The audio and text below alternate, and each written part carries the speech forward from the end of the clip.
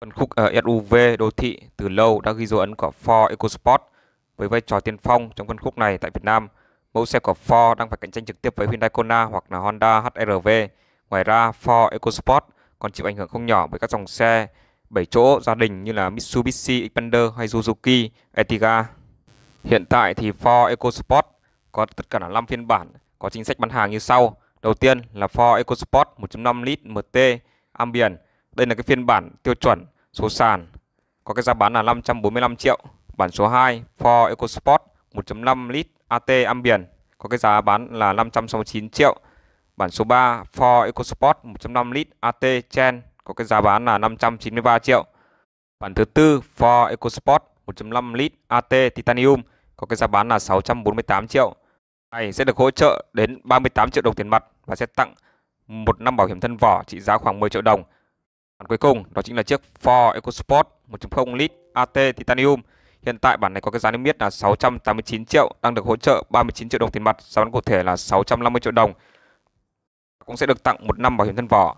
Nếu các bạn quan tâm đến chính sách bán hàng và giá cả, màu sắc, các bạn có thể liên hệ cho chúng tôi theo số điện thoại 0906 828 999 gặp Cường Trần để có chính sách bán hàng cũng như là giá cả tốt nhất.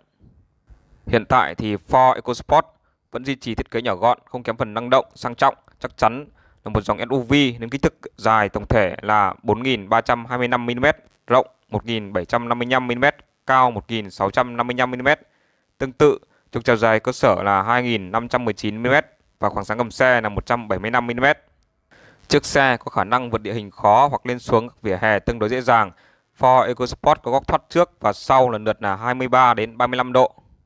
Các điểm nhấn trên Ford EcoSport là cụm lấy tản nhiệt hình lục giác cỡ lớn, viền Chrome đi kèm các họa tiết tổ ong khá thể thao, cụm đèn pha thiết kế vứt ngược về phía sau đi kèm hốc đèn sương mù hình tam giác. Ốp trước tạo cho đầu xe một phong cách SUV hầm hố đặc trưng. Chiếc xe được trang bị đèn pha halogen kết hợp chóa phản xạ đa chiều, trong khi bản EcoBot 1.0 Titanium trang bị đèn projector tự động bật tắt tích hợp đèn LED ban ngày hiện đại hơn. Ngoài ra, cả phiên bản Titanium đều trang bị đèn sương mù halogen, trong khi các phiên bản còn lại không có tính năng này. Đây chúng tôi xin tổng hợp lại chính sách bán hàng cũng như là giá cả của chiếc Ford EcoSport hoàn toàn mới. Nếu các bạn quan tâm đến chính sách bán hàng và giá cả thì các bạn có thể liên hệ cho chúng tôi theo số điện thoại 0906 828 999 gặp Cường Trần, đại diện đại lý Ford Mỹ Đình để có chính sách bán hàng cũng như là giá cả tốt nhất. Cảm ơn các bạn quan tâm kênh Vua Xe. Xin chào và hẹn gặp lại.